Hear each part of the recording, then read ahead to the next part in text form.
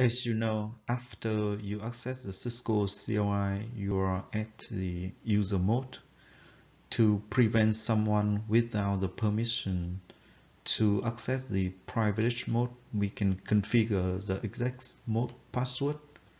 At the router configuration mode, issue the command enable secret and then specify the password that you want and hit enter.